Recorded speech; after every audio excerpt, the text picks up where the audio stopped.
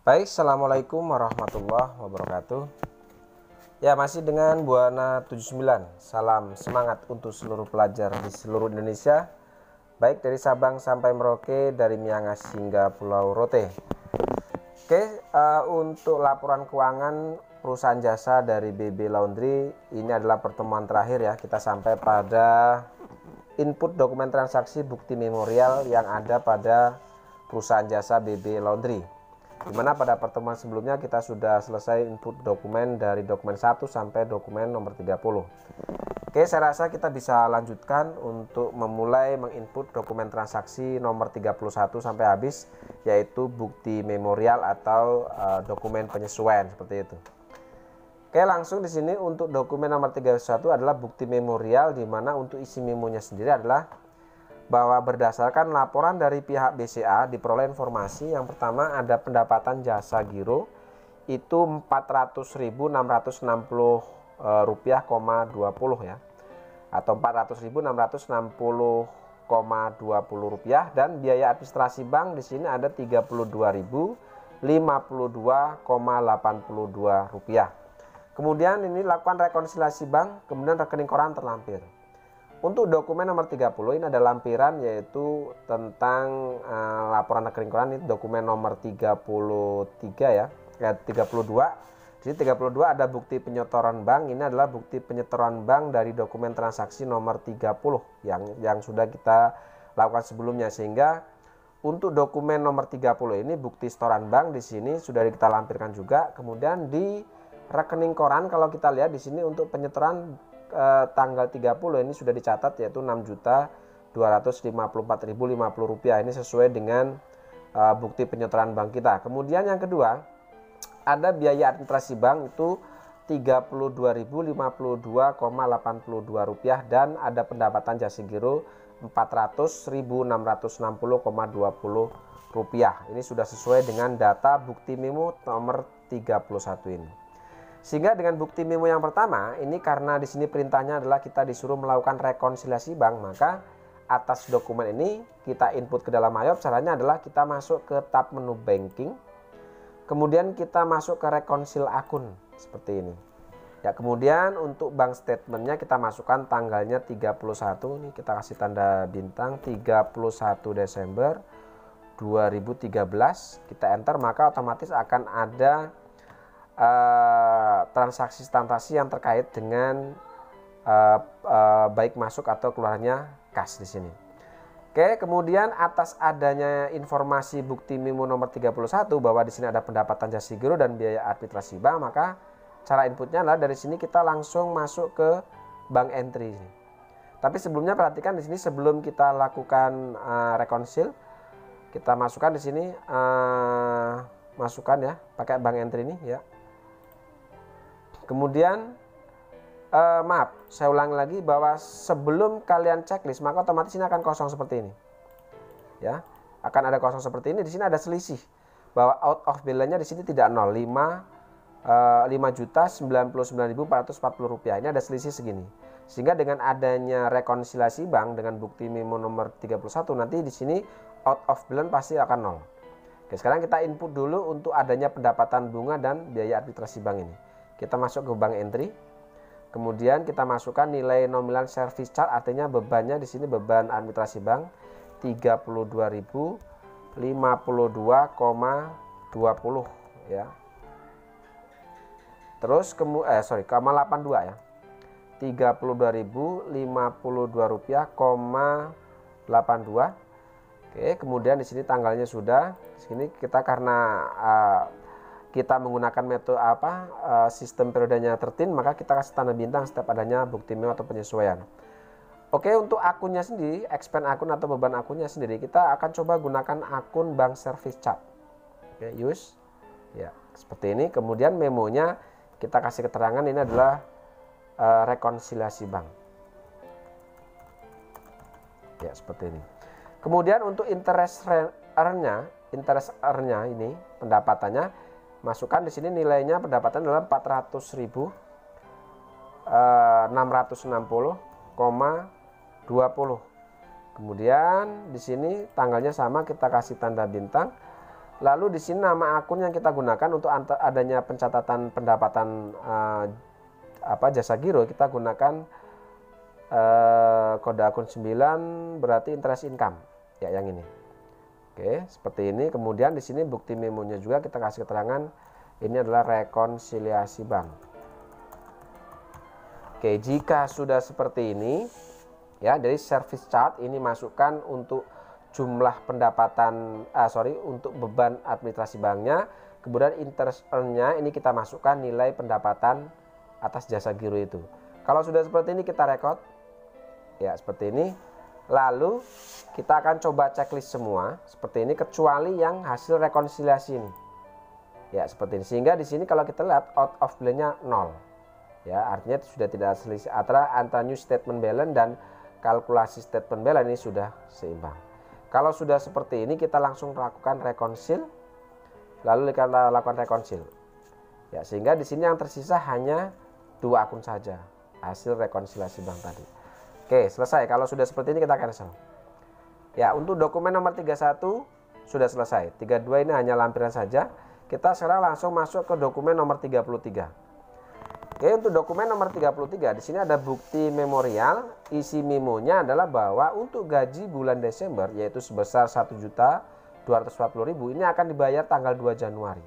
Sehingga di sini atas pencatatan ini tanggal 31 Desember ini akan muncul namanya hutang bunga. Ada pengalokasian beban gaji ke dalam hutang gaji, sorry bukan hutang bunga, jadi hutang gaji.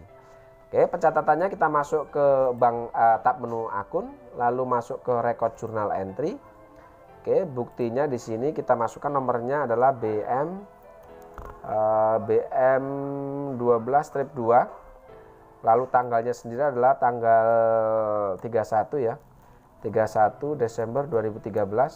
Oke, karena ini penyesuaian ya uh, kita kasih tanda bintang di depannya. Oke, lalu di sini keterangannya adalah bahwa ini ada gaji bulan Desember dibayar bulan uh, Januari. Oke, ada akan ada hutang gaji namanya hutang gaji. Ya, jurnal untuk mencatat adanya bukti mumu adanya hutang gaji ini yang pertama adalah kita masuk ke beban gaji kode 6 ya wages and salaries ya wages and salaries nilainya 1 juta 240 ribu.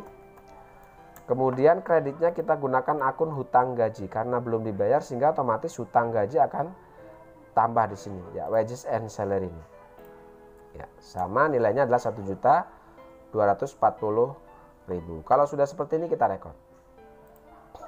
Ya lanjut ke dokumen nomor 34 ya dokumen nomor 34 di sini kalau kita lihat ini adalah buk, ada bukti memo tentang penyusutan ya ada penyusutan peralatan bulan Desember itu 309.000 di sini sudah disebutkan bahwa nilai penyusutannya atau beban penyusutan bulan Desember ini sudah ditentukannya itu 309.000 sehingga nominal inilah yang kita masukkan ke dalam jurnal untuk jurnal penyusutannya. Oke, kita masukkan nomornya dulu di sini BM 12 strip 3 tanggalnya adalah tanggal 31 masih 2013. Oke, keterangannya adalah penyusutan peralatan. Desember.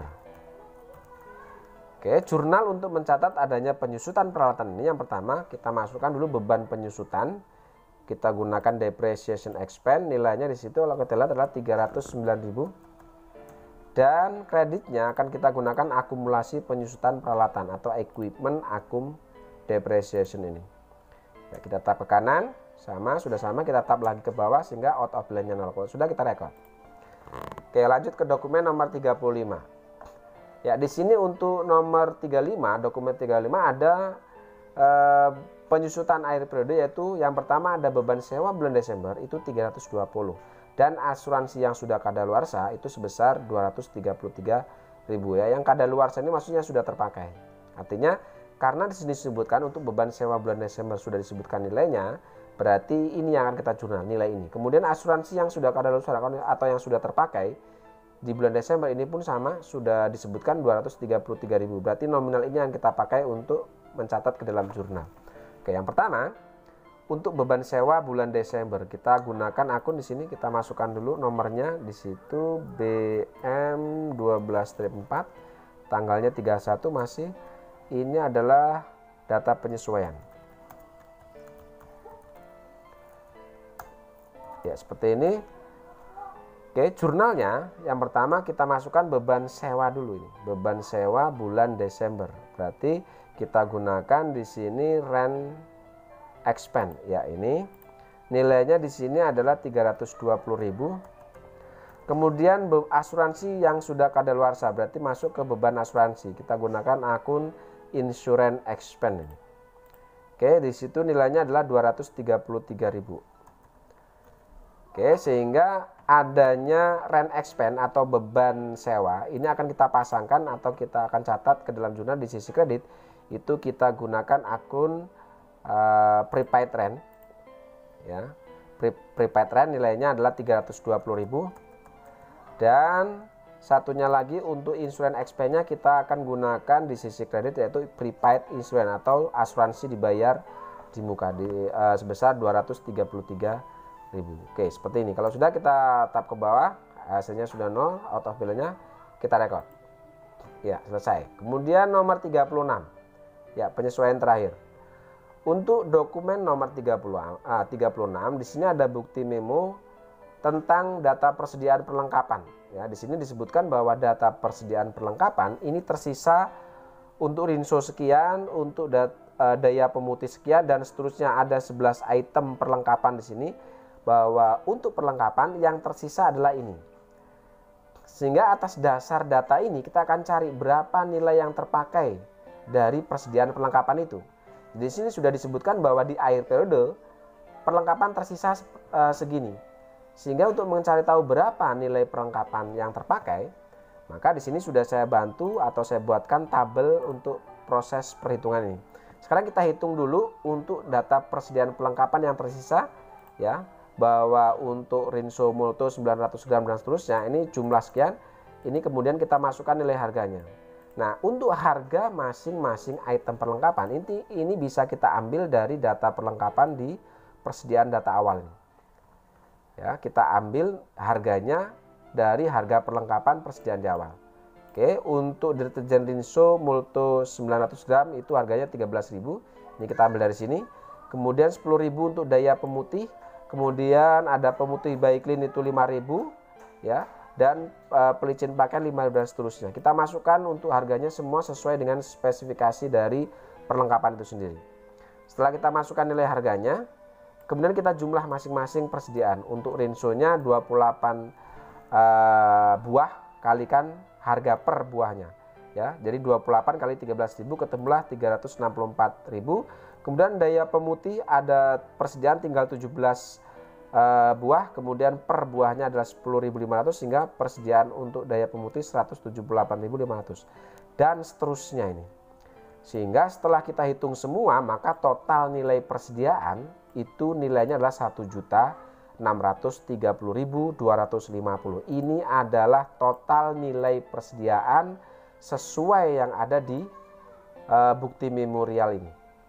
Ya, jadi data penyusunan ini. Nah, untuk mengetahui berapa pemakaian atas perlengkapan ini, maka kita harus tahu berapa ya, berapa uh, nilai persediaan perlengkapan kita. Kita lihat di sini bahwa untuk perlengkapan ini kalau kita lihat uh, untuk store uh, supplies-nya ya supplies-nya ini ada nilai di situ 2 juta 209 ribu ini adalah nilai saldo yang ada di uh, trial balance atau di daftar neraca saldo di sini. Nah, untuk mengetahui berapa pemakaian atas perlengkapan ini, maka jumlah supplies yang ada di daftar saldo ini dikurangi dengan persediaan perlengkapan yang tersisa ini. Tadi kalau kita lihat bahwa perlengkapan yang tersisa eh, yang tersisa nilainya adalah 1.630.250. Di sini di daftar saldo di sini perlengkapan ada 2.209.000. Sehingga untuk mengetahui berapa nilai pemakaian atas perlengkapan itu, maka saldo perlengkapan ini Oke, saldo perlengkapan ini kita masukkan ke sini. Ya, saldo perlengkapan itu yaitu besarnya tadi adalah 2 juta 209 ribu ya sesuai di sini 2 juta 209 ribu ini dikurangi dengan nilai persediaan akhir yang tersisa sehingga kalau kita hitung di sini nilai saldo perlengkapan dikurangi dengan nilai persediaan yang tersisa didapat nilai 578.750 rupiah. Inilah yang disebut dengan beban pemakaiannya. Dan inilah yang akan kita catat ke dalam jurnal. Ya, jadi inilah yang akan kita catat ke dalam jurnal. Oke, sekarang kita akan coba masukkan ini ke dalam jurnal.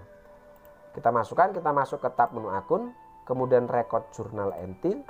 Ya, kita masukkan tadi untuk dokumennya adalah BM 12 strip 5 ya. BM 12 strip 5 tanggalnya masih tanggal 31 di sini keterangannya adalah data persediaan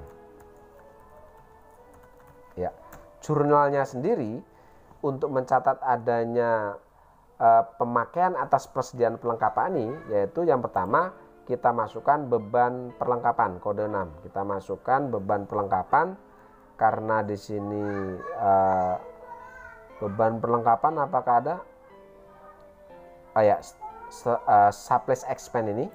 Oke. Nilainya tadi adalah 578 uh, eh sorry. Kita masukkan sini ya. 578.750 ya untuk kreditnya sendiri adalah kita masukkan akun perlengkapan itu sendiri. Oke jadi jurnalnya adalah beban perlengkapan pada perlengkapan itu sendiri. Besarnya adalah 578.000 750 rupiah. Kalau sudah seperti ini kita tap. Ya kalau sudah kita record oke selesai ya untuk dokumen transaksi eh, uh, 36 selesai sehingga dengan selesainya input dokumen transaksi bukti memorial nomor 36 berarti untuk uh, input dokumen transaksi seluruhnya kita anggap selesai saya rasa cukup terima kasih sampai di sini ketemu lagi dengan Buana 79 dengan materi yang lain Sampai jumpa di lain waktu. Terima kasih. Assalamualaikum warahmatullahi wabarakatuh.